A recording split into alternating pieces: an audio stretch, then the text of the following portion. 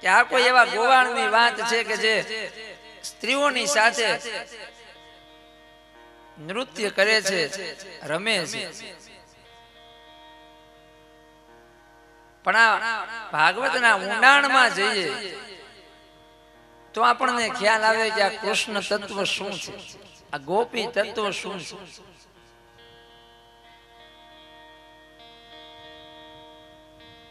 અને સુખદેવજી આ પરીક્ષિતના પ્રશ્નનું સમાધાન અનેક રીતે આપે છે. સરળ રીતે સમજી શકાય તેવી રીતે આપે છે. પહેલું કારણ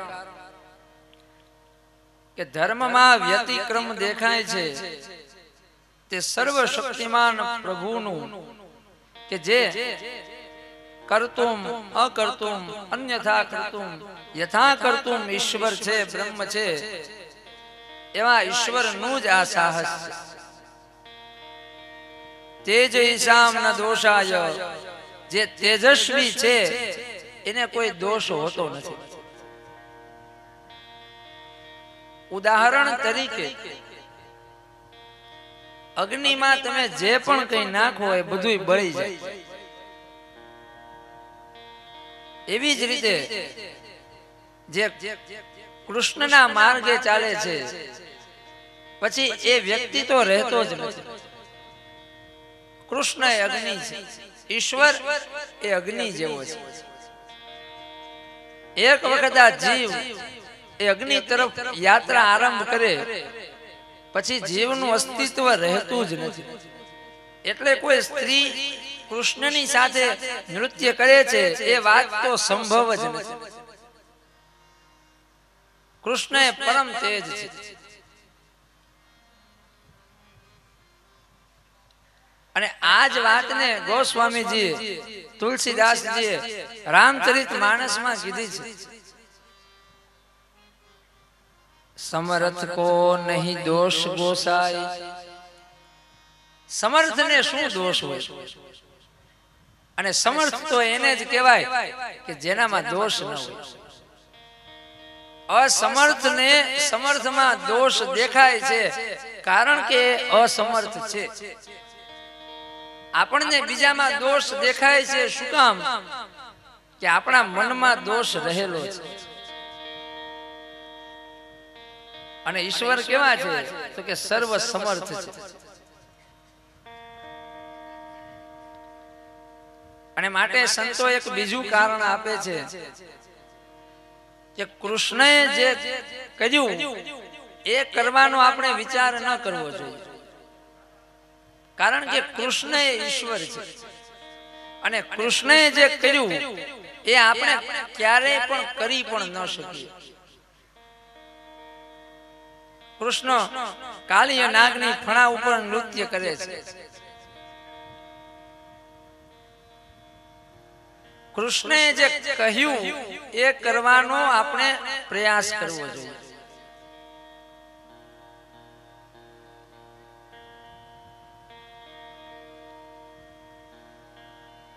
ભગવાન જે કરે છે, એ આપણું સામર્થ્ય નથી કે આપણે ભગવાન જેવું કરી શકીએ.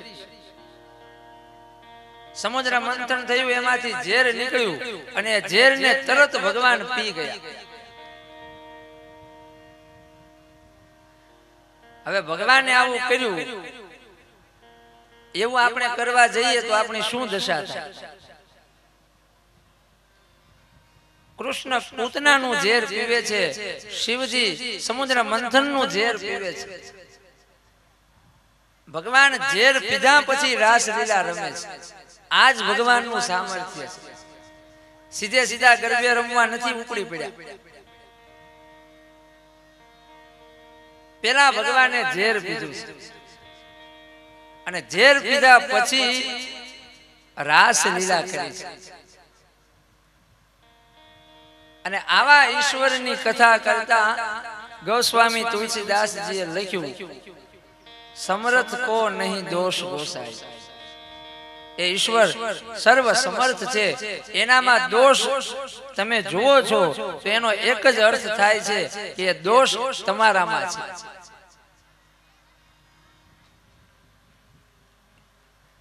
ત્રીજું કારણ, અદ્ભુત કારણ એક વૃંદાવનના સંત કહે છે કે ઈશ્વરનું જે વચન હોય એ સત્ય જ હોય. ભગવાને જે કહ્યું છે એ આચરવા યોગ્ય છે.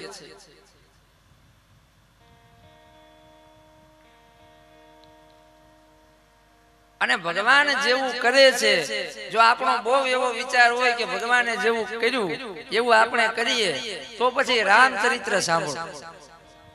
રામ કથાને સાંભળો રામચરિત માનસને સાંભળો. રામજીએ જે જે કર્મ કર્યા, એ બધા કર્મ આચરવા યોગ્ય છે. સંપૂર્ણ રામ કથા એ અનુકરણીય છે. આચરણમાં મૂકવા યોગ્ય છે.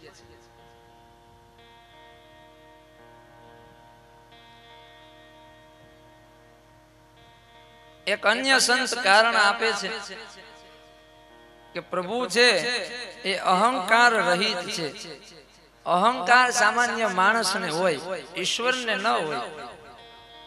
આથી સામાન્ય માણસ અહંકાર કરે અને પોતાના જ કર્મથી પોતે બંધાઈ જાય. અને ઈશ્વરમાં અહંકાર નથી, એટલે ઈશ્વરે કરેલું કર્મ ઈશ્વરને બાંધતું નથી. એટલે ભગવાન રાસ રમે છે. છતાંય રાસથી બંધાતા નથી. યસ્ય નાહમ કૃતો ભાવ. બુદ્ધિર્યસ્ય ન લિપ્યતે.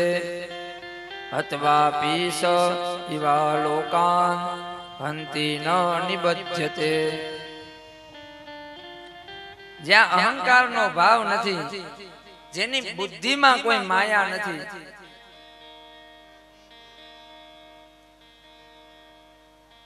એ આખે આખા લોકને મારી નાખે છતાંય પોતે મરતો નથી.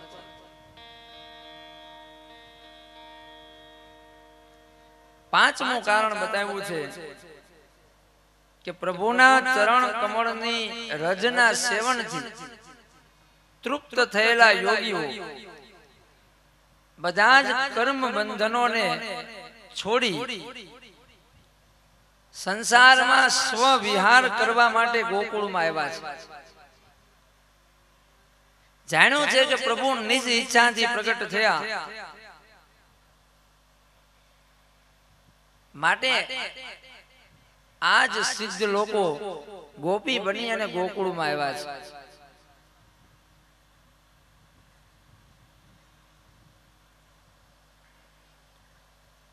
અને છઠ્ઠું કારણ છે કે વાસ્તવમાં પ્રભુ તો ગોપીઓના અને તેમના પતિઓના પણ પતિ છે. સ્વામી છે, અંતર્યામી છે, દરેકના હૃદયમાં વસનાર છે. જેવી રીતે ચંદ્ર આકાશમાં હોય અને નીચે નદીમાં આપણે જોઈએ તો નદીમાં ચંદ્રનું પ્રતિબિંબ દેખાય. પણ એ નદીમાં આપણે કૂદકો મારીએ તો નદીમાં જે ચંદ્ર દેખાય છે ચંદ્રને આપણે પકડી ન શકીએ.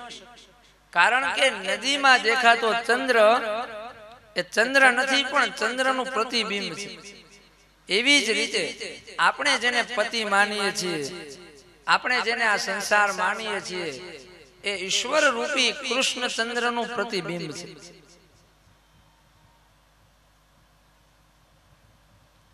સાતમું કારણ છે કે પ્રભુએ એવી ક્રીડાઓ કરી એવી લીલાઓ આચરી એવી રમતો રમ્યા કે જે સાંભળી અને પ્રભુને તરફ આ જીવને ઈશ્વર તરફ તન્મયતા જાગે. આ પ્રભુની લીલા છે કૃષ્ણની લીલા છે. કૃષ્ણએ એવી લીલા કરી કે જે લીલાની કથા સાંભળી યુગો યુગો પછી પણ ભક્તને કૃષ્ણ તરફ આકર્ષણ થાય.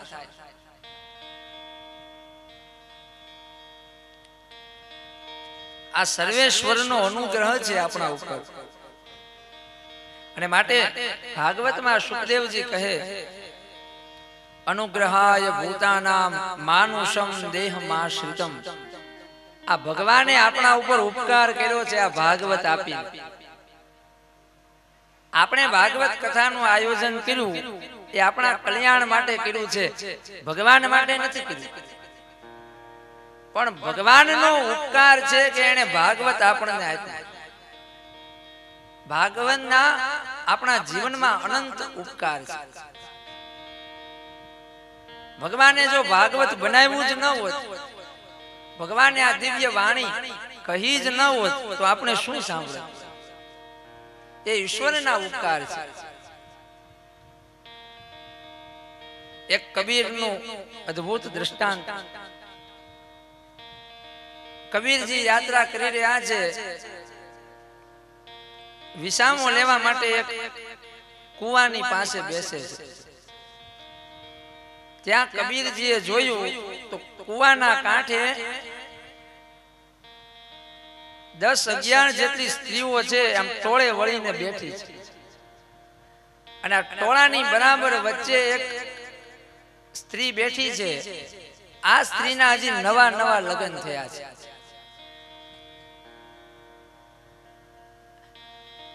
કબીરજી ધ્યાનથી સાંભળે છે, કારણ કે સંત છે. સંત સંસારથી અલગ નથી રહેતા.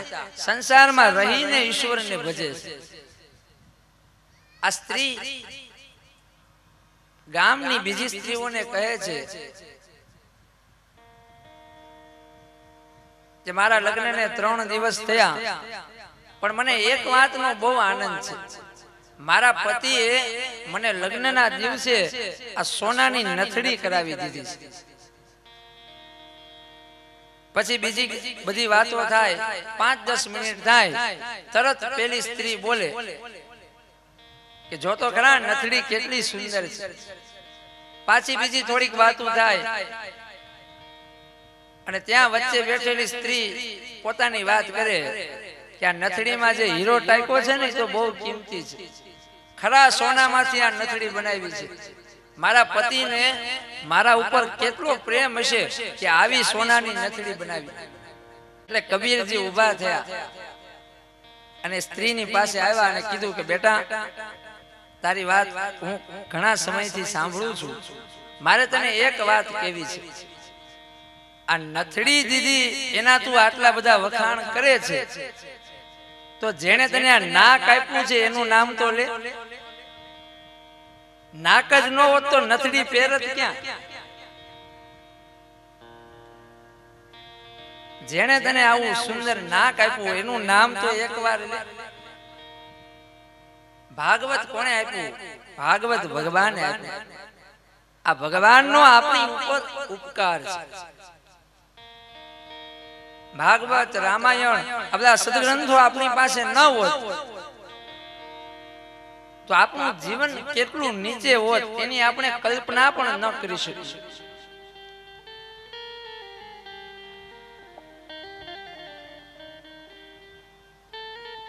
આમ.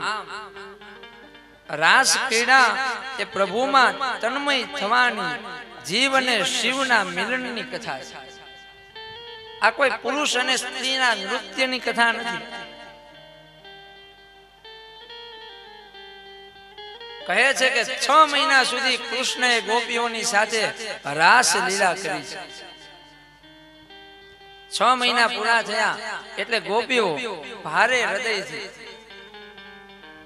પોતાના ઘરે આવી છે. ગોપીઓ પોતાના ઘરે આવી તો પતિઓએ એક પ્રશ્ન પણ કર્યો નથી. કારણ કે પ્રભુની માયા છે.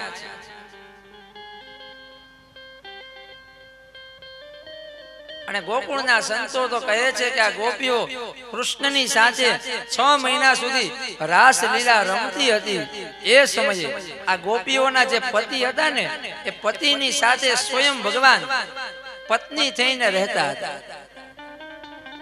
છ મહિના સુધી કૃષ્ણ ગોપી થઈ અને ગોપીના કામ કરતા હતા. અને આ ગોપીઓ કૃષ્ણની સાથે રાસ લીલા કરતી હતી. કેવો અનુગ્રહ છે ભગવાન. કેવી અદ્ભુત અને અલૌકિક કથા છે. રાસલીલા એ ઈશ્વરનું પરમ સામર્થ્ય દેખાડે છે.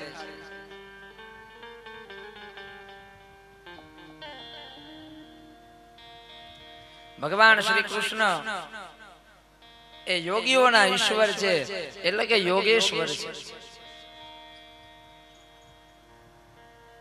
ઈશ્વર નજીક રહે છે.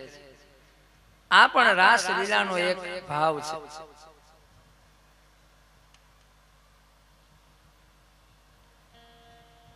વૃંદાવનના સંતો આ રાસ લીલાને અનેક આધ્યાત્મિક અર્થ આપે છે.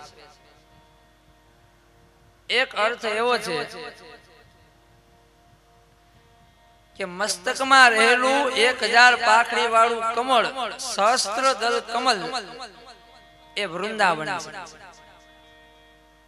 બહુ ઊંચી વાત કીધી છે કે સહસ્ત્ર દલ કમળ એ વૃંદાવન છે. શરીરની જે કુંડલીની શક્તિ છે એ રાધિકા છે.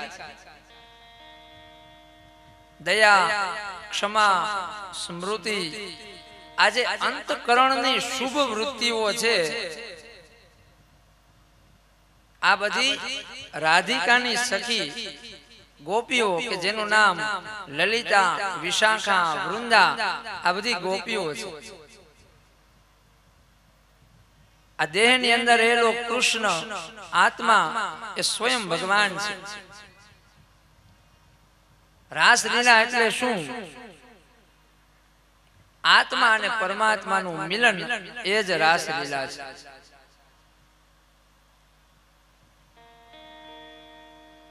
રાધા કૃષ્ણનું મિલન એ બીજા શબ્દોમાં કુલ કુંડલીની રૂપી રાધા જાગૃત થઈ અને સહસ્ત્ર દલ કમળની અંદર રહેલા કૃષ્ણની સાથે રમે એ જ રાસ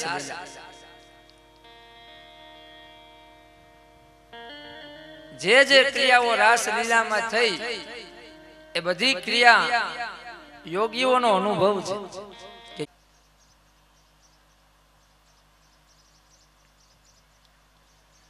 વિયોગનો તાપ કોને થાય? તો કે જેણે એક વખત મિલનની મજા માણી હોય, તેને જ વિયોગનો તાપ થાય. એટલે કે યોગ માર્ગમાં આગળ વધતા ક્યારેક ઈશ્વરની થોડીક વાર માટે ઝાંખી થઈ જાય. ભગવાનની કથા સાંભળતા સાંભળતા મન એટલું તલ્લીન થઈ જાય કે એક સેકન્ડ માટે એક ક્ષણ માટે ભગવાનની ઝાંખી થઈ જાય. અને પછી એ ઝાંખી થયા પછી એ ઈશ્વરને પામવાની તરસ જાગે. જે કદી મળ્યો જ નથી જેનો કોઈ અનુભવ જ નથી એનો વિયોગ ન થાય.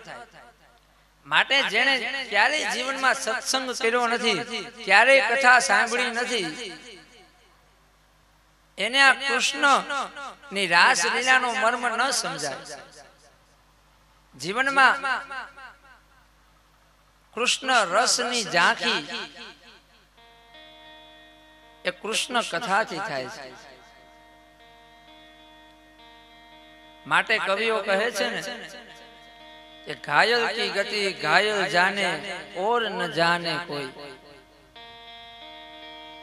અને મીરા કહે સખી, મેં તો પ્રેમ જીવાની મેરો દર્દ ન જાને કોઈ.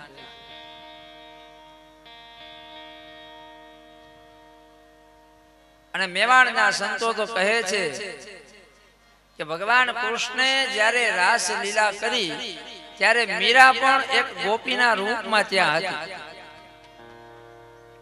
અને એ જ ગોપી આ કળિયુગની અંદર ફરી વખત મીરા થઈને પ્રગટ થઈ નહીતર આટલો બધો કૃષ્ણ પ્રેમ ક્યારે જીવનમાં આવે જ નહીં.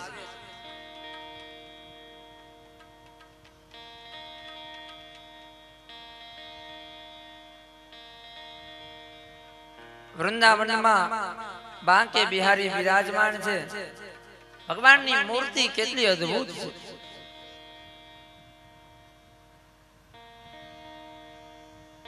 ભગવાનના દર્શન, ભગવાનની ઝાંખી, કરાવતી કથા એ ભાગવત છે. આંખને ઉઘાડનારી કથા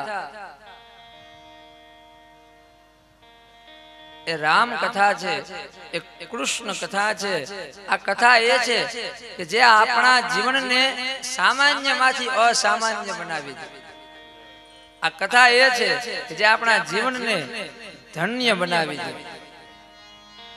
આ એની કૃપાનું ફળ છે. આપણા પરિશ્રમથી કથા ન મળે.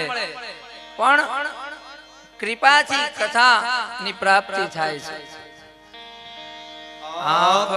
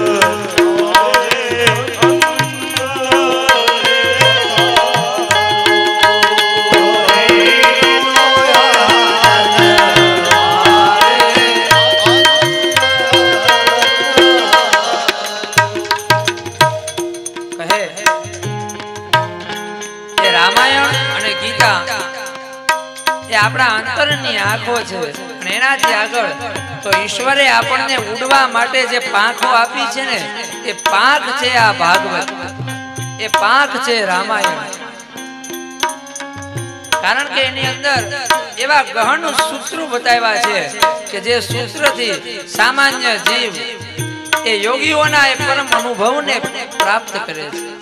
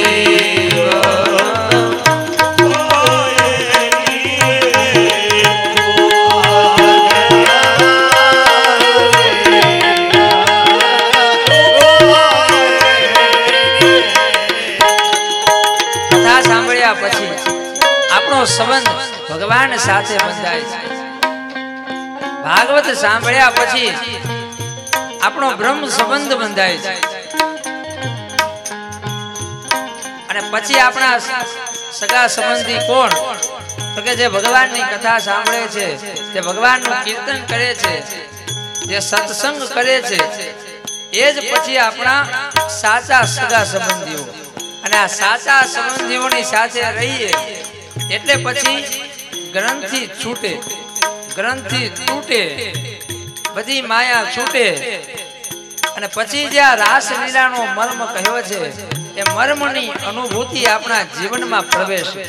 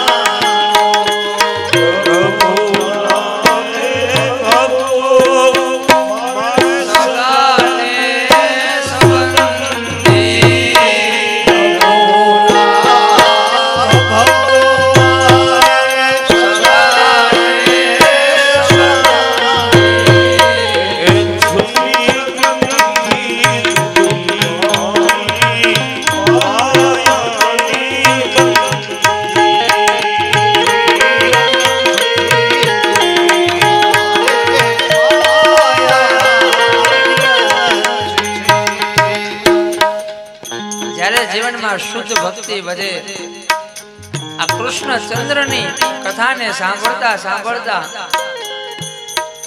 આપણું જીવન છે, મનની વૃત્તિ છે પૂર્ણિમાના ચંદ્ર જેવી થઈ જાય.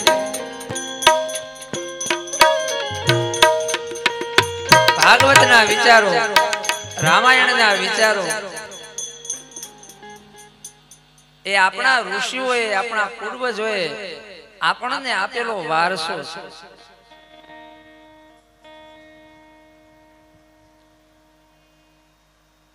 ભગવાન અંતર ધ્યાન થયા, ગોપીઓને અહંકાર આવ્યો. ગોપીઓએ ગોપી ગીત ગાયું. ભગવાન ફરીવાર પ્રગટ થયા. ભગવાન પ્રગટ થયા. એટલે એક ગોપીએ પોતાના અંગ ઉપર ઓઢેલું વસ્ત્ર કાઢી અને ભગવાન માટે બિછાવ્યું કહે છે કે તારલિયાઓના મંડળમાં જેવી રીતે ચંદ્ર શોભે એવી રીતે પહેલો પ્રકાર કે જે ભજે એને ભજે એટલે કે એ વ્યવહાર છે. આપણને કોઈ કંઈક આપે એના બદલામાં આપણે એને કંઈક આપી એ વ્યવહાર છે. સામાન્ય રીતે માણસ વ્યવહારમાં રહેતા હોય. કંઈક લીધું બદલામાં કંઈક આપ્યું. ઘઉં લીધા બદલામાં રૂપિયા આપ્યા. આ પેલા પ્રકારના લોકો છે. બીજા છે જે ન ભજે એને પણ ભજે. ઘડપણ આવી ગયું હોય. છોકરાઓ કઈ કયામાં હોય નહીં. છતાંય એ બાળકો પ્રત્યે આસક્તિ રહે.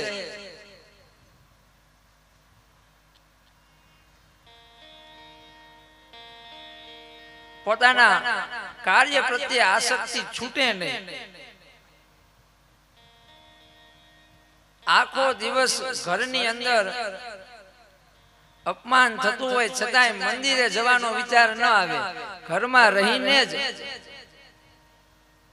એ અપમાન સહન કરતા કરતા પણ એ ઘરને છોડી ન શકે એ આ બીજા પ્રકારના લોકો છે. કે જે ન ભજે કોઈ ન બોલાવે છતાંય એને બોલાવ્યા રાખે. ત્રીજો પ્રકાર છે કે જે ભજે કે ન ભજે કોઈને પણ ન ભજે. આ ત્રીજા પ્રકારના પાછા ચાર પ્રકારો બતાવ્યા છે. એક છે આત્મા રામ. જે આત્મા નો અનુભવી છે જેને આત્મજ્ઞાન થયું છે એ આમાં આવે એના કોઈની સાથે કઈ લેવા દેવા નથી. એક છે આપ્તકામ એક છે અકૃતજ્ઞ. અને ચોથો છે ગુરુદ્રોહી. એટલે ગોપીઓ પૂછે છે કે કૃષ્ણ તમે આમાંથી શેમાં આવો? એટલે ભગવાન બોલ્યા કે હું આ ત્રણમાંથી એકમાં ન આવું. હું તો કલ્પ વૃક્ષ છું. કલ્પ વૃક્ષની પોતાની કોઈ ઈચ્છા હોતી જ નથી. પણ કલ્પ વૃક્ષની નીચે બેસી અને માણસ જે જે ઈચ્છાઓ કરે કલ્પ વૃક્ષ એને એ ઈચ્છા પૂરી કરી.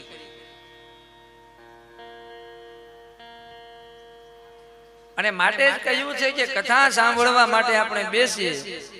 ત્યારે હૃદયમાં શુભ ભાવ રાખો કથા મંડપમાં જ્યારે બેસીએ આપણા ઘરની અંદર મંદિરમાં જ્યારે પૂજા કરવા માટે બેસીએ જ્યારે આપણે એકાદશીનું વ્રત રહ્યા હોઈએ જ્યારે કોઈ ધર્મના કાર્યમાં ગયા હોઈએ ત્યારે હૃદયમાં હંમેશા શુભ ભાવ લઈને જવું. કારણ કે આ કથા એ વિશ્વ બંધુત્વની ભાવના પ્રગટ કરે છે આપણા સંતો કહે સર્વેત્ર સુખિના સંતુ સર્વે સંતુ નિરામયા સર્વે ભદ્રાણી પશ્યંતુ મા કસ્તે દુઃખ માપનું યાદ ભાગવત નો ભાવ એવો છે કે બધા સુખી થાય. બધા રોગથી રહિત થાય. બધાનું કલ્યાણ થાય. કોઈને દુઃખ ન મળે. હવે મનમાં આપણને પ્રશ્ન થાય કે આવી પ્રાર્થનાઓ કરીએ. એટલે બધા સુખી થઈ જાય. તો એનો જવાબ છે કે હા.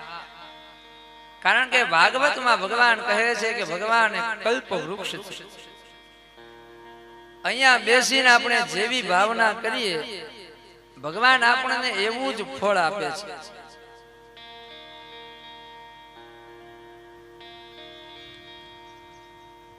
ફરીવાર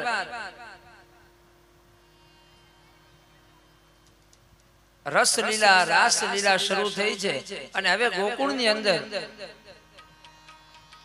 રહેલા ગોવાળિયાઓને ગોપને પણ અરે વાછરડાઓને અરે ગાયોને પણ. અરે વૃંદાવનના દરેક જીવને ભગવાનને આ રાસનું દાન આપ્યું છે. આદિ શંકરાચાર્ય આ જ ભાવને વ્યક્ત કરતા કહ્યું. ચિદાનંદ રૂપમ. શિવોહમ શિવોહમ પુનઃ ઈશ્વરે રાસ લીલા કરી. જળ લીલા છે જળની અંદર ભગવાને લીલા કરી. વન લીલા થઈ. વનની અંદર લીલા કરી. અને આ રાત્રિ છે એ છ મહિનાની એક રાત્રિ છે.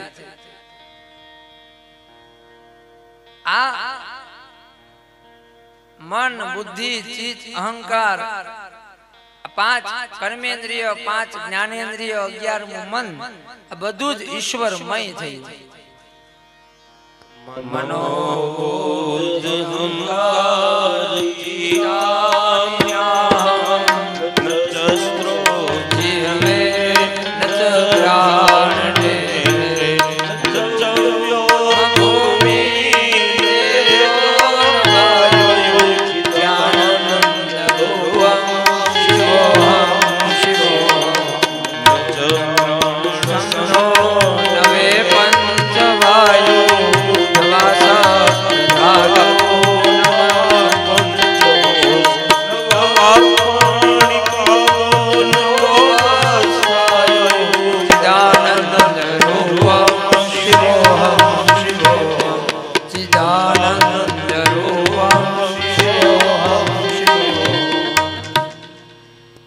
અને બ્રહ્માદિ દેવતાઓએ આ રાસ લીલાના દર્શન કર્યા.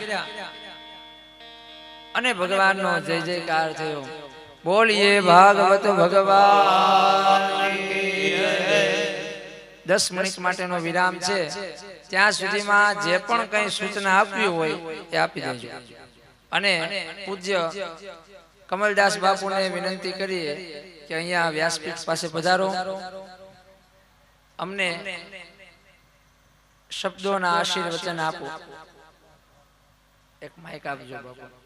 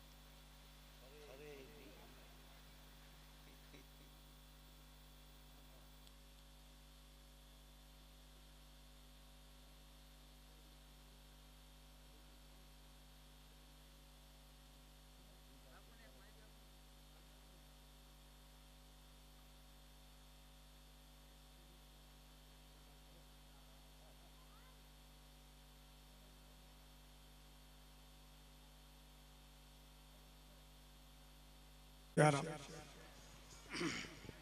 હાલો, જય શિયારામ શાંતમ, શાશ્વતમ પ્રમેયમનદમ નિર્વાણ શાંતિપ્રદમ.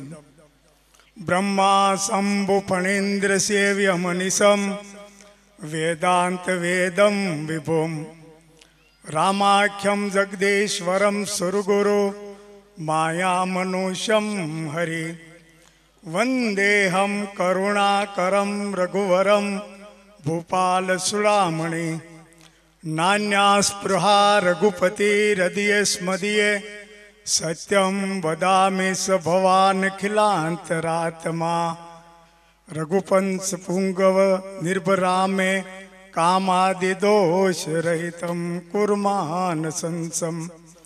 અતુલિત બલધામમ હેમ શેલાભ દેહમ ધનુજવન કૃષાનો જ્ઞાનિનાહમ ગ્રગણ્યમ સકલ ગુણ નિધાનમ વાનરાણામધીશમ રઘુપતિ પ્રિય ભક્તમ વાત જાતમ નમામે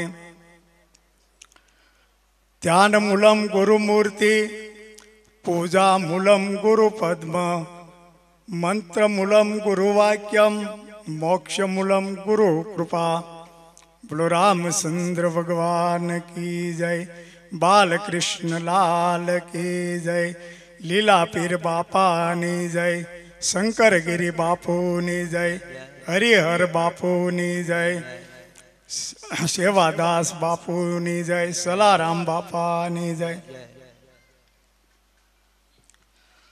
પ્રયાગરાજ એવા પશ્યગામ તીર્થધામની અંદર ભાગવત કથામૃતનું રસપાન થઈ રહ્યું છે ત્યારે.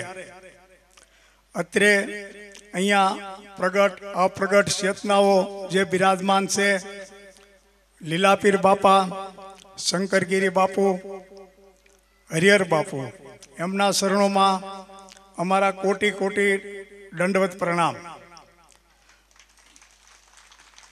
ભાગવત ભગવાનની કથામૃત ચાલી રહ્યું છે, તો ભાગવત ભગવાનના શરણોમાં અને વ્યાસપીઠ પર બિરાજમાન શાસ્ત્રી શ્રી આશીષ મહારાજ જોશીના એમના શરણોમાં પણ અમારા કોટી કોટી પ્રણામ. સંગીતકાર ભાઈઓ, એમના શરણોમાં પ્રણામ. અત્રે વિવિધ ક્ષેત્રોથી હરરોજ પધારતા સંતો મહાનુભાવો, એવા મહાન સંતોના શરણોમાં અમારા કોટી કોટી વંદન. કથાનું રસપાન ખૂબ જ પ્રેમથી અને ભાવથી એકાગ્ર રીતે કરતા શ્રોતાઓ, વડીલો, માતાઓ, બહેનો, બાળકો એમના શરણોમાં પણ સૌને અમારા પ્રણામ. આ પશ્યા ગામને આ પ્રયાગરાજની બિરુદ અમે આપ્યું. એ એમનેમ નથી આપ્યું. પશ્યગામ અત્યારે પ્રયાગરાજ બની ગયું છે અને એક તીર્થધામ બની ગયું છે, તો પ્રયાગરાજ કોને કહેવાય? પ્રયાગરાજમાં શું શું હોય તો એને પ્રયાગરાજ કહેવાય. તો પ્રયાગરાજમાં એક તો ત્રિવેણી સંગમ છે, અક્ષય વૃટ છે અને તીર્થ યાત્રીઓનો સમાજ ત્યાં અવારનવાર આવતો રહે છે, તો એને પ્રયાગરાજ કહેવાય. તો અહીંયા આપણે ભાગવત રૂપી ગંગા વહી રહી છે. અને યત્ન રૂપી આપ સૌનો પ્રયત્ન યત્ન રૂપી યમુનાજી વહી રહી છે અને સંતો રૂપી સમાજની સરસ્વતી નો સંગમ, આ ત્રિવેણી સંગમ અહીંયા આપણને દેખાય છે. સંતો છે, એ હાલતું ચાલતું પ્રયાગ છે. તુલસીદાસ કહે છે, મુદ મંગલમય સંત સમાજુ, જો જગ જંગમ તીર્થ રાજુ.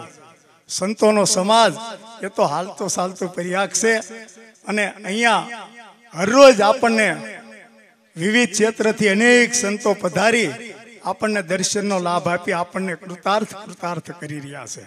આ કોઈ સામાન્ય વાત નથી.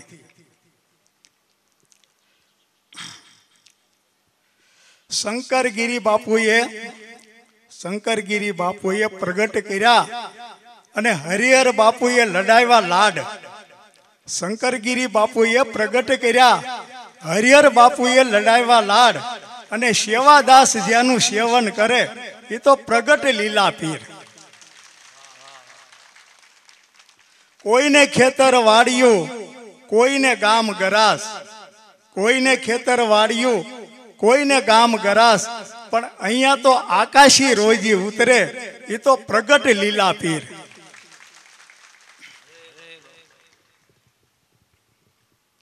સલારામ બાપાએ કૃપા કરી અને આપ્યા સેવા અહીંયા પડ્યું જ તું.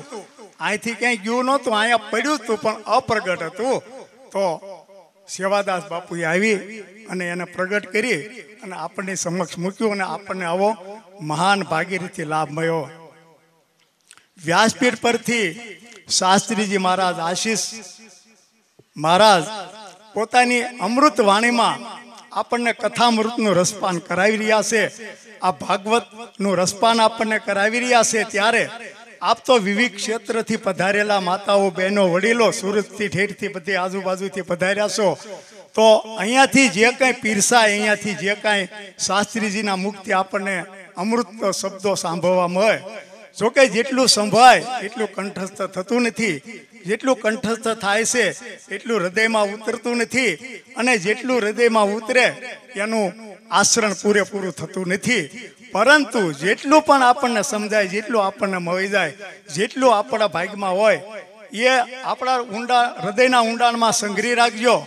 જેમ સર્પ પોતાના ભણીને સંઘરી રાખે જેમ લોભી પોતાના રૂપિયાને સંઘરી રાખે, એમ આ અમૃત તુલ્ય વાક્યો આપ સંભાવી રાખશો, તો અમુક સમય આપણને અવશ્ય ચોક્કસ કામમાં લાગશે.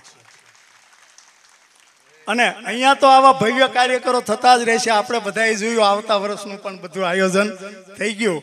અને અમે તો ભગવાનને પ્રાર્થના કરી જ હતી, પણ હવે બીજી પ્રાર્થના છે કે આના આવકતા આપણને પાસ આમાં આવતા વર્ષે. આવા નિખાલસ વક્તા આપણને બહુ ઓછા મળે છે. આપણે કથાઓ તો આશ્રમોમાં ઘણી થઈ છે.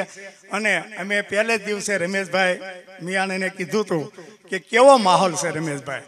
તો કે કંકેશ્વરી માતાની કથા યાદ આવી ગઈ. બત્રીસ વર્ષ થઈ ગયા. બત્રીસ વર્ષ પહેલા આ માહોલ પછી ગામમાં સર્જાણો તો ત્યાર પછી કથાઓ તો ઘણી થઈ. પ્રસંગો ઘણાય થયા. પણ જે માહોલ એ સમય હતો એ માહોલ અત્યારે આપણને દેખાઈ રહ્યો છે. આ ઉત્સાહ, આ આનંદ અને આ પ્રેમ.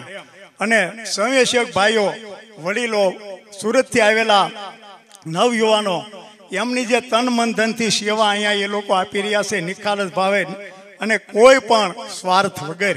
અને જ્યારે સ્વાર્થ વગર કાર્ય થતા હોય છે, ત્યારે જ આવી ભવ્યતા એમાં આવતી હોય છે. નિસ્વાર્થ ભાવથી કાર્ય થતા હોય ત્યારે આવા કાર્ય દીપતા હોય છે. અને આ કાર્યની વિશેષતા આપણને એક નથી લાગતી કે આ સુધી આ ગામમાં કે કોઈ ગામમાં ક્યારેય નહીં બન્યું હોય. દરેક સમાજ અહીંયા એકત્રિત છે. દરેક વિધવિધ જાતિના દરેક ક્ષેત્રો દ્વારા, દરેક જ્ઞાતિ જ્ઞાતિ દ્વારા અહીંયા રસોઈ અપાણે છે. આ આ એક વિશેષ ક્રાંતિ નથી તમને લાગતી? નકર તો ગમે ત્યાં ગામ હોય, બે બે નાતી નાતો લોકો અલગ અલગ ફાટો પડતા જ હોય, પણ અહીંયા તો આ લીલાપીર બાપાની કૃપા તો જુઓ, બધાને એકત્રિત કરી દીધા, બધાને એક કરી દીધા. પછી ઘાસી હોય, કુંભાર હોય મોસી હોય, કે પછી ભરવાડ સમાજ હોય, કોઈ પણ સમાજ હોય કાશી સમાજ પણ આમાં આવી ગયો, રસોઈ આપવામાં બોલો. આ આ લીલાપીર બાપાની આથી વિશેષ કેવી કૃપા હોય? આપણને વિશેષ કૃપાનું આ ફળ છે. એકત્રીસ સમાજ બધો આપણને કર્યો છે. આપ ખૂબ આવા શાસ્ત્રીજી, આવા શ્રોતાઓ પણ બહુ ઓછા જોવા મળે છે. એકાગ્ર સિદ્ધથી કથા સાંભળે છે. સતત આપણે એના માટે શાસ્ત્રીજી પણ અહોભાવ વ્યક્ત કરે છે કે આવા શ્રોતાઓ અમને બહુ ઓછી જગ્યાએ મળે છે. કથા તો ઘણી જગ્યાએ કરીએ છીએ, પણ આવા શ્રોતા બહુ મળતા નથી. એનો અહોભાવ એ લોકો પણ આપનો વ્યક્ત કરે છે. બીજું એક નાનું એવું દ્રષ્ટાંત. બુદ્ધ ભગવાનના જીવનનું છે. બુદ્ધ ભગવાન જ્યારે વિહાર કરતા અને ભિક્ષા લેવા માટે ગામો ગામ ફરતા, પણ એવો એને નિયમ હતો કે કોઈ પણ એક ગામમાં જઈને એક જ ઘરેથી ભિક્ષા લેવી અને એનો સ્વીકાર કરવાનો, પછી તો ભલે ન મહત્વ ઉપવાસ કરવાનો. આ રીતે બુદ્ધ ભગવાન ફરતા ફરતા વિહાર કરતા એક દિવસ એવું બન્યું, એક નગર શેઠે બુદ્ધ ભગવાનને આમંત્રણ આપ્યું કે ભગવાન કાલે અમારે ઘરે આપ ભિક્ષા લેવા પધારો. તો નગર શેઠની વિનંતી સાંભળે અને બુદ્ધ ભગવાને કીધું કે સારું, હું કાલે સમયસર ભિક્ષા લેવા આવી જાય બીજો દિવસ થયો, નગર શેઠે સરસ મજાનો દૂધ પાક બનાવ્યો છે અને નગર શેઠને ત્યાં તો શું કમી હોય? ભાત ભાતના બધા સૂકા મેવા નાખીને સરસ મજાનો દૂધ પાક નગર શેઠે બનાવ્યો છે. ભગવાન ભૂત પણ એમને જે નક્કી સમય કર્યો હતો, એ સમય પર ભિક્ષા લેવા આવી ગયા. ભિક્ષા લેવા કમંડવ ધર્યો એટલે નગર શેઠ ઘરમાંથી દૂધ પાક લઈને આવ્યા અને જેવો કમંડવમાં નાખવા ગયા, એટલે નગર શેઠનું ધ્યાન ગયું કે આ તમારા કમંડવમાં તો કાદવ ભરેલો છે. આ તમારા કમંડોમાં તો કાદવ છે. બુદ્ધ ભગવાન કે ઓ મારું ધ્યાન ન રહ્યું. ઠેરો નગર શેઠ, હમણાં હું સાફ કરીને આવું છું. ભગવાન બુદ્ધે પોતાનું પાત્ર સાફ કર્યું અને કમંડો ધર્યું. લ્યો નગર શેઠ, હવે પીરસી દ્યો. નગર શેઠે દૂધ પાક આપ્યો અને પછી કીધું કે બુદ્ધ ભગવાન, હવે અમને આશીર્વાદ આપો. આ તમને ભિક્ષા આપી, હવે અમને આશીર્વાદ આપો. એટલે બુદ્ધ ભગવાને બહુ સરસ પ્રશ્ન કર્યો કે નગર શેઠ, દૂધ પાકની કિંમત વધારે કે આશીર્વાદની કિંમત વધારે? એટલે નગર શેઠે કીધું એ તો આશીર્વાદની કિંમત જ વધારે હોય ને. દૂધ પાકની કિંમત તો શું કહેવાય? આશીર્વાદની કિંમત જ વધારે હોય. તો બુદ્ધ ભગવાને કીધું કે આ મારું ખરડાયેલું કમંડ હતું, તો એમાં તારો દૂધ પાક ન સમાણો. તો તારી આ કામ, ક્રોધ, મદ, મોહ, લોભ, મત્સરથી ખરડાયેલી આ તારી કાયામાં મારા આશીર્વાદ કેમ હમાય? આ જો મારા ખરડાયેલા કમંડવામાં તારો દૂધ પાક ન હમાણો, તો આ તારી અઢી મણની કાયામાં બધું ભરેલું છે એ કચરો પેલા સાફ કર. જે મેં કમંડવ સાફ કર્યું, એમ તું આ તારું આ કાયારૂપી કમંડવ સાફ કરી, એમાંથી કામ, ક્રોધ, મોહ, મ મત્સર રૂપી તારો આ કચરો બધો બહાર બહાર કાઢ. પછી મારા આશીર્વાદ તો સતત વહે છે. એવી રીતે આપણે લીલાપીર બાપાના આશીર્વાદ તો આપણી ઉપર સતત વહે છે. આપણે આપણી કાયા થોડીક સાફ કરવાની જરૂર છે. આપણામાં જે કોઈ, કોઈના પ્રત્યે વ્યાર ભાવ હોય, દુશ્મનાવટ ભાવ હોય કામ ક્રોધ મધ મોહ આપણા શરીરની અંદર ભર્યા હોય, તો એ કચરો થોડોક આપણી કાયામાંથી સાફ કરો. એટલે આપણને એ આશીર્વાદ તો સતત વરસી જ રહ્યા છે. અહીંયા શંકરગીરી બાપુ, હરિહર બાપુ એમના આશીર્વાદ આપણી ઉપર સતત વરસી રહ્યા છે. જો આશીર્વાદ ન વરસતા હોય, તો આવું ભવ્ય કાર્યક્રમ કેવી રીતે થાય? આવું દિવ્ય કાર્યક્રમ કોઈ દિવસ શક્ય ન બને. તો સંતોના આશીર્વાદ તો સતત હોય છે. માત્ર જરૂર છે આપણે આપણે કાયામાંથી થોડુંક સાફ કરવાની. હવે એક વિશેષ થોડુંક કહેવું છે, આ માતાઓ, વડીલો બધા સુરત ઠેરથી આવ્યા છે. તો સમાજ લગતો પ્રશ્ન એક જે સાધુ સંતોને અત્યારે મૂંઝવી રહ્યો છે. કદાચ આપણને તો બહુ નહીં ધ્યાનમાં હોય, પણ સાધુ સંતોને આ એક નાનો એવો પ્રશ્ન મૂંઝવી રહ્યો છે. અત્યારે સમાજની કોઈ મોટામાં મોટી સમસ્યા હોય, તો સાધુ સંતોને એ દેખાય છે કે અત્યારે બેન દીકરીઓ અને છોકરાઓ ભાગી જઈને લગ્ન કરી રહ્યા છે. વગર સંબંધ કરીએ, વગર પહેલે દીકરી નવયુવાન થાય અને ભાગી અને લગ્ન કરી લે છે. દીકરાઓ કોઈની દીકરીઓને ભગાડી અને લગ્ન કરી રહ્યા છે, તો આ કોઈ નાનો સૂનો પ્રશ્ન આ સમસ્યા નાની નથી. આ સમસ્યા બહુ મોટી છે. આગળ જતા આનો ખ્યાલ આવશે, અત્યારે તો આપણો દીકરો કોઈની દીકરીને ભગાડીને લઈ આવે, તો સારું લાગશે થોડાક સમય માટે, પણ આ સમસ્યા બહુ જટિલ છે. આનાથી બહુ વિપરીત પરિણામ આવશે. કૃષ્ણ ભગવાને અર્જુનને કીધું તું ગીતામાં કે, અર્જુન તું તું તારું કર્મ જે છે, જે તું તું કાર્ય છે તારું, જે ક્ષત્રિય ધર્મ છે એ તું તારો ધર્મ તું સૂકી જઈશ તો એનાથી આ સમાજમાં ઊંધી અસર પડશે. અને જો રાજા પ્રજાપાલક નહીં હોય અને રાજા દુર્યોધન જેવો સૌસંધિ બનશે, તો આ સમાજમાં પછી સમાજ પણ સૌસંધિ બનશે. અને જ્યારે સમાજ સૌસંધિ બચશે ત્યારે આ સમાજની અંદર વર્ણશંકર પ્રજા ઉત્પન્ન થશે. અને વર્ણશંકર પ્રજા ઉત્પન્ન થશે ત્યારે આ ધર્મનો, આ સમાજનો નાશ થશે માટે અર્જુન, તું તારું કર્તવ્ય નિભાવ તું તારો ધર્મ નિભાવ અને યુદ્ધ કર. તો આપણે આ સમાજ માટે યુદ્ધ, આ બોધ અર્જુનને આપ્યો છે ચોક્કસ, પણ એ આપણા માટે પણ સાર્થક કરવા જેવો છે. આ સમસ્યા છે આપણા બધા માટેની છે. બાજુમાં કોઈ પ્રસંગ બને તો આપણે દાંત કાઢતા હોઈએ છીએ જો ફલાણા ભાઈની દીકરી ભાગી ગઈ. પણ એવું કેમ નથી વિચારતા? કાલે સવારે આપણે ઘરે આ પ્રસંગ, આપણે દીકરીઓ છે, આપણે દીકરા. કાલે સવારે આ પ્રસંગ આપણે ઘરે પણ આવશે. તો આપણું ખાલી, આપણો સ્વાર્થ આપણે નથી જોવાનો, દરેકનું આપણે જોવાનું છે. એક નાનકડી એવી ઘટના છે, નાનકડો એવો પ્રસંગ. એક બસ પહાડી વિસ્તારમાં પસાર થઈ રહી હતી, ચાલીસ પચાસ મુસાફર બેઠા હતા એમાં. બસ જઈ રહી હતી. એમાં એક પહાડી વિસ્તારમાં તો કેવા ગામ હોય? બે પાંચ બે પાંચ ખોડાના ઘર હોય.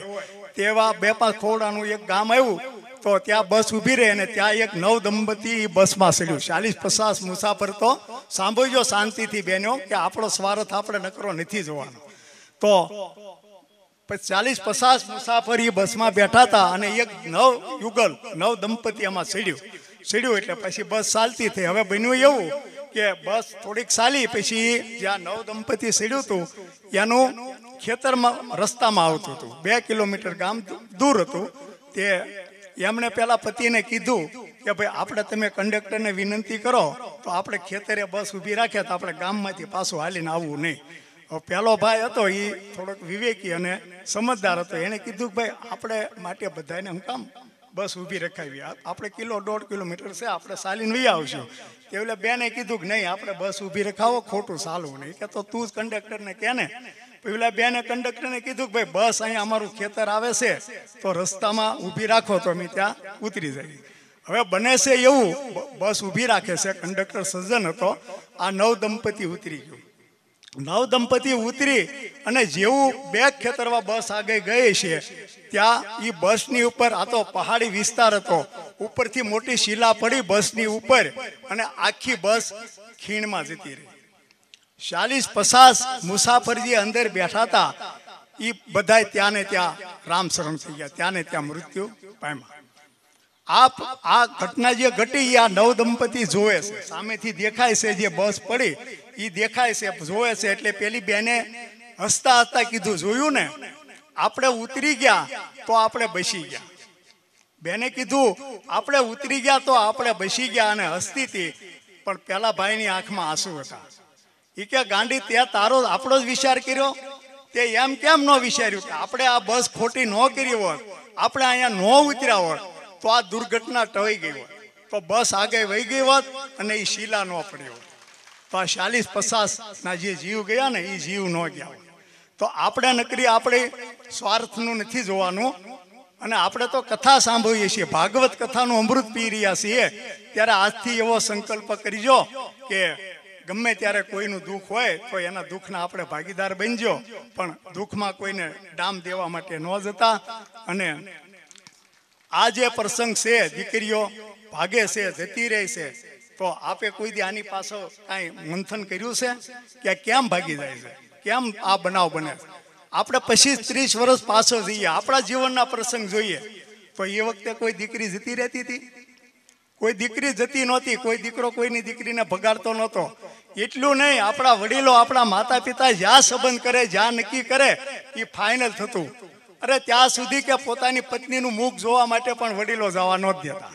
લગ્ન થઈ ગયા પછી તો પત્નીનું મુખ જોવા મળતું આપણે આજે ભાગવત કથા સાંભળી રહ્યા છીએ. એમાં દેવહૂતિ માતાની એક સુંદર કથા આવે છે, જે કંદર્પ ઋષિને એમના પિતા મનુએ અર્પણ કરી. એનો બહુ સરસ આપણે એક દાખલો લેવા જેવો છે કે દેવહૂતિ કોણ હતા, કેવા હતા અને કોના પુત્રી હતા? દેવહૂતિ હતા ને એ મનુ રાજાના પુત્રી હતા જે વિશ્વમાં જે પૂરા ભારત ખંડમાં ત્યાંનું રાજ્ય તપતું હતું. અને દેવહૂતિ રૂપ રૂપના અંબાર હતા. દેવતાઓ પણ એની લાલચ કરતા હતા. એવા દેવહૂતિ રૂપ રૂપના અંબાર હતા. આટલું સ્વરૂપ, આટલી સંપત્તિ, આટલું બધું હોવા છતાંય એના પિતા મનુએ એના માટે સગપણ સંબંધ કેવો ગોત્યો? એને ઠેકાણા નકરા નથી જોયા. અત્યારે જે આપણે પસા પસા ઠેકાણા જોઈએ તો હાથ નથી પાડતા કે ભાઈ હજી આ મારી દીકરી માટે બરાબર નથી. પણ હવે ક્યારે બરાબર આવશે? ભાગીદા અત્યારે? તો આ દેવહૂતિના પ્રસંગમાંથી આપણે દાખલો લેવા જેવો છે. કે એના પિતા મનુએ તપાસ કરી કે આના માટે કેવો વર્ગ હોતો જોઈએ અને કેવો વર આના માટે લાયક છે. તો જંગલમાં તપ કરતા હતા કંદર્પ ઋષિ. એમને સામે સાલી અને પોતાની દીકરી દેવહૂતિ અર્પણ કરવા ગયા છે. કંદર્પ ઋષિ માગુલન નથી આવ્યા. દેવહૂતિને અર્પણ કરવા માટે મનુ રાજા પોતે લઈને ગયા છે સામે સાલી અને કંદર્પ ઋષિને પગ પડી અને વિનંતી કરી છે કે આ અમારી દીકરીનો સ્વીકાર કરો. ત્યારે કંદર્પ ઋષિએ ઘણી જાતની પેલી શરતો મૂકી છે કે આટલી આટલી મારી શરતો છે, જો આટલી શરતો તમારી દીકરીને મંજૂર હોય, તો હું તમારી દીકરીને પરણું.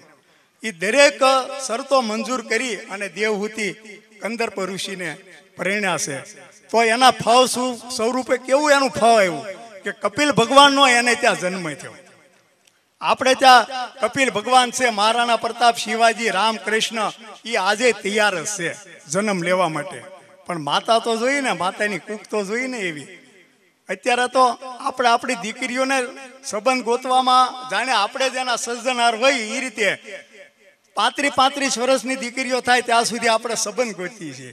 અને આપણા સગા સંબંધી ઠેકાણા બતાવે તો નહીં નહીં નહીં. આ મારી શ્રુતિ માટે બરાબર નથી.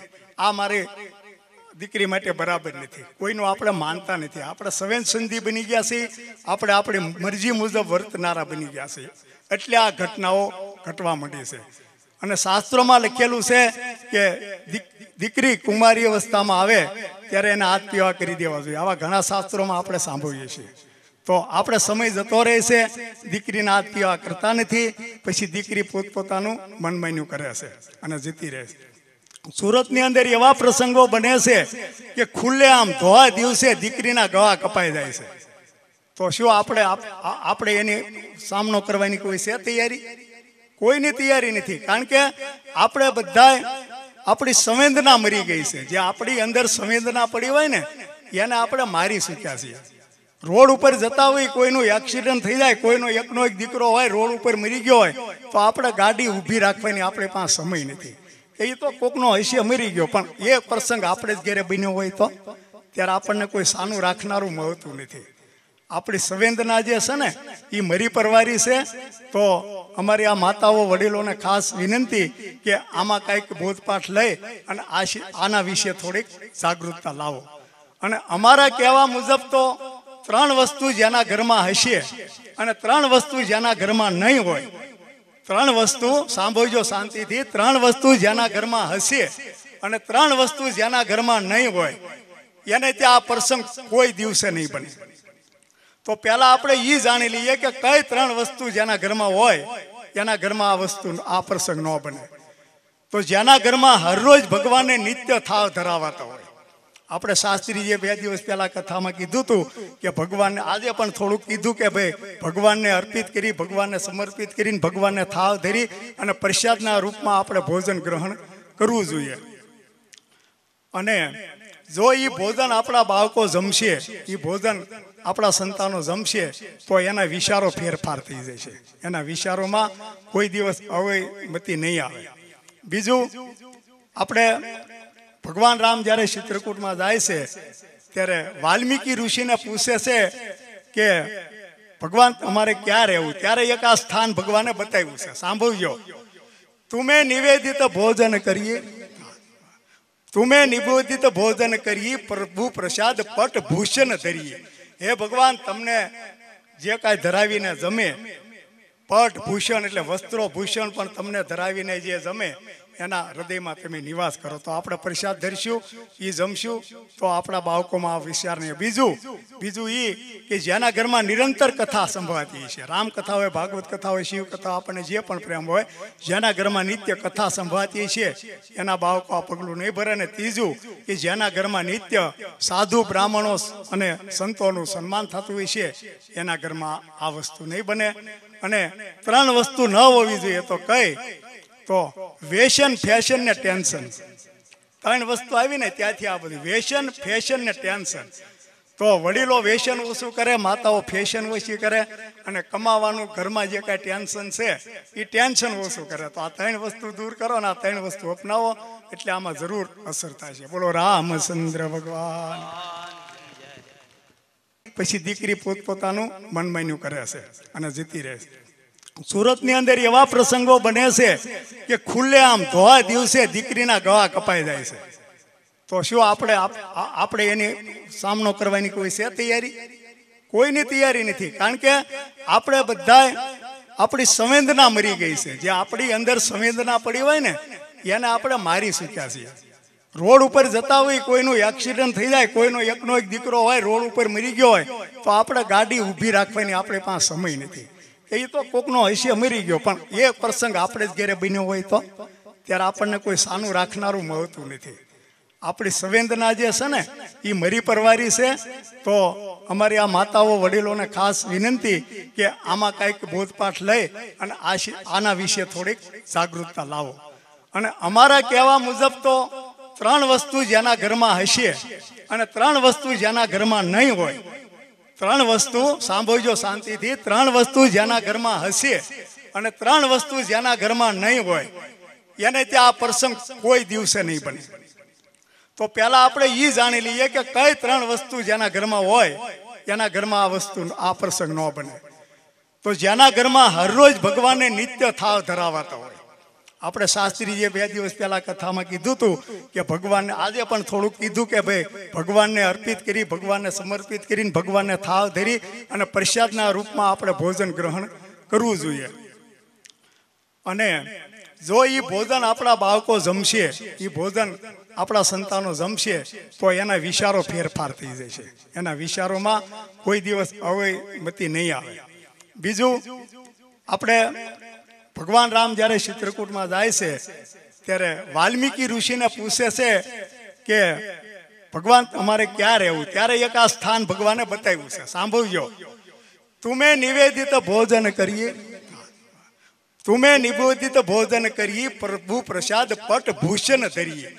હે ભગવાન, તમને જે કાંઈ ધરાવીને જમે, પટ ભૂષણ એટલે વસ્ત્રો ભૂષણ પણ તમને ધરાવીને જે જમે એના હૃદયમાં તમે નિવાસ કરો. તો આપણે પ્રસાદ ધરશું એ જમશું, તો આપણા બાળકોમાં આ વિચાર નહીં બીજું બીજું એ કે જેના ઘરમાં નિરંતર કથા સંભળાતી રામ કથા હોય, ભાગવત કથા હોય, શિવ કથા આપણને જે પણ પ્રેમ હોય, જેના ઘરમાં નિત્ય કથા સંભળાતી છે, એના બાળકો આ પગલું નહીં ભરે. ને ત્રીજું કે જેના ઘરમાં નિત્ય સાધુ, બ્રાહ્મણો અને સંતોનું સન્માન થતું હોય છે, એના ઘરમાં આ વસ્તુ નહીં બને.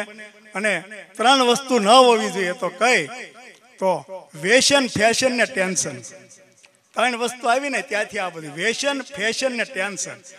તો વડીલો વેશન ઓછું કરે, માતાઓ ફેશન ઓછી કરે અને કમાવાનું ઘરમાં જે કાંઈ ટેન્શન છે એ ટેન્શન ઓછું કરે. તો આ ત્રણ વસ્તુ દૂર કરો ને આ ત્રણ વસ્તુ અપનાવો, એટલે આમાં જરૂર અસર છે બોલો, રામચંદ્ર ભગવાન.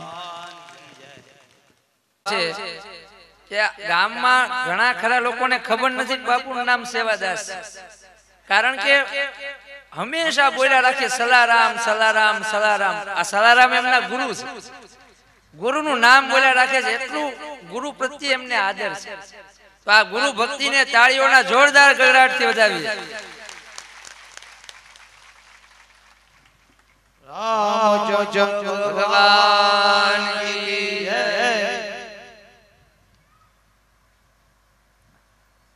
શ્રી ધીરુ બાપુ, ને વિનંતી અહીંયા પધારો.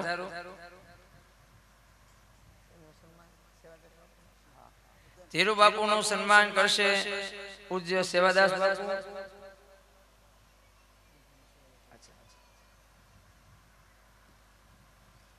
પધારો.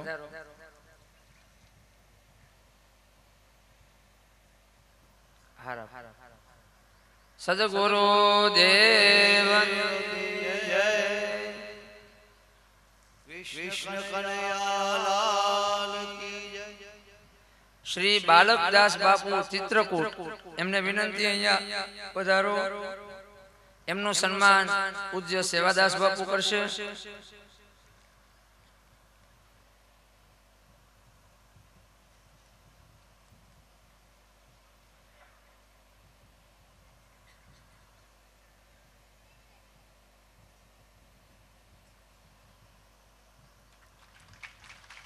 દ્વારકાધીશની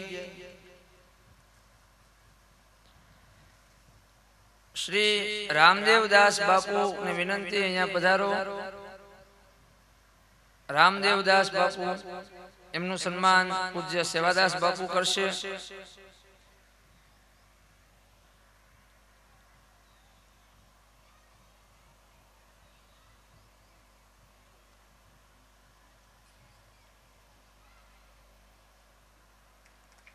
કૃષ્ણ શ્રી રમણદાસ બાપુને વિનંતી અહીંયા પધારો. એમનું સન્માન સ્વાગત. પૂજ્ય સેવાદાસ બાપુ કરશે.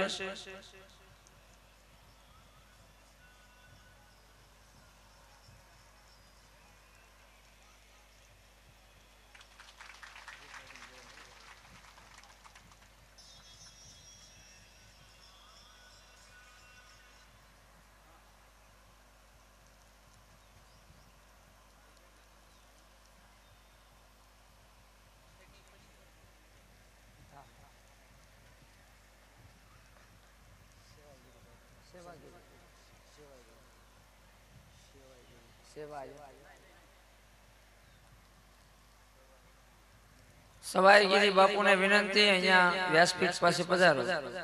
તેમનું સન્માન પૂજ્ય સેવાદાસ બાપુ કરશે.